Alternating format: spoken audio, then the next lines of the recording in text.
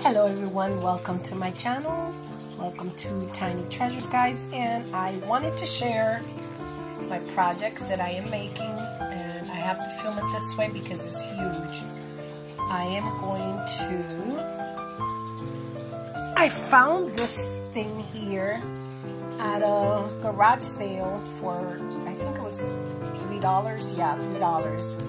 And I was like you know what? That's perfect frame for a greenhouse. So my plans were to make one, but not now.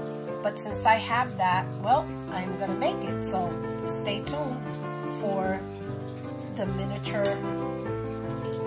greenhouse, guys. So that's my project. I already started cutting out things and to make it with. So yeah, stay tuned for that then, okay? All right, then you guys stay blessed. Don't forget to give me a thumbs up. And guys, don't forget about the um, giveaway, challenge giveaway that I have going, okay? Just a little reminder. Uh, I have a video on there if you want to um, enter.